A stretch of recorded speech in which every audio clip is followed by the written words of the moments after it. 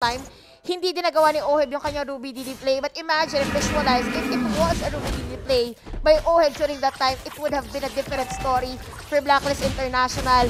And right now, Onyx will start Uy. The Lord. Walang Oy, libre dito ha, walang Op. libre dito. Hanapin natin si Haji. May isang knock deadly catch sa mukha. And there's the way of the dragon. Na-isolate nila si Sans. So bawas agad ang damage. Circling Eagle sa likod. Drian nabuhay pa. And papatayin siya doon ni Edward. Si so it's a 2v1. Here comes Sans. Boots looking low. Sans Ang okay pa. Wise. Oh, makakainom pa ng ale. Merong Winter Truncheon. Sasayaw si Boots. At papabagsakin ni Oheb. Two for two. Bilangin nyo. Two for two. But here comes the Lord. Deadly catch. Masa. Tala mo, eh. Sasaluhin, sasaluhin. Okay Op. pa. Oh, Oh, Edward. grabe. Edward. Edward. Kaya. Wait lang. Easy. Defend the Lord first. Tore, natayo pa. Kayang-kaya. Mountain Shocker. Sige, Critical. kung nasa sila. Oh, na-critical din. Immortality Pop. Edward, magpahabol ka muna, men.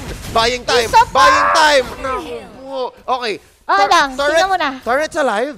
Turret's alive and I think yun ang tunay na priority ng Blacklist. Yes, uh, yun yung tunay na priority ng Blacklist. Kinagandahan nyo sila na nasiraan ng inhibitor turret because if this inhibitor turret was destroyed, mas madali para sa Onyx to defend or to actually push against them.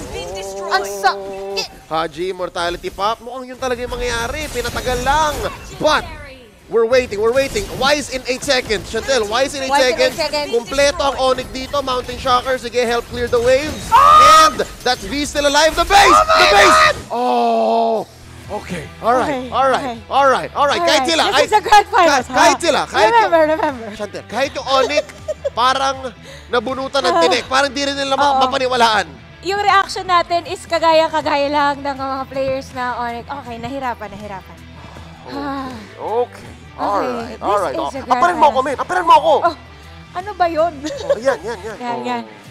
Oh, Chantel, ah, yes. ito yung birthday gift para kay. Ay, ah, sabi na, ah, sige, um, 8 minutes, kaso parang nalungkot. Sige, gawin natin isang buong game. But, wow, this is the grand